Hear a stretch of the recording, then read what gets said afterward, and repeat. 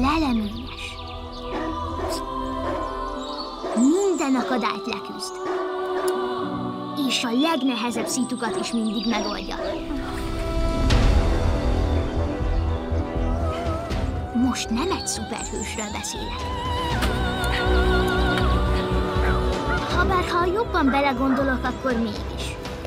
Anya egy igazi bajnok, akihez mindig lehet fordulni. Szia! Szia, anya, hol is vannak a raktapaszok? Ott van a mindenes dobozban. Megvan? Jó. Igen, ott van mellette a kicsi piros dobozban. Megvan, köszi. Oké. Okay. Úgy fér ennyi minden a Jól van, fejébe. vagy. No, meg a Puszi. kezébe.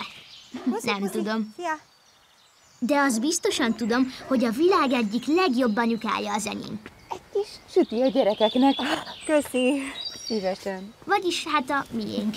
Mert hogy ketten osztozunk rajta a tesómmal. Ami kicsit sem könnyíti meg anya dolgát. De szerencsére anya akkor is türelmes, ha tényleg kiütjük a biztosítékot. Hát nem a világ legszeretnivalóbb anyukája?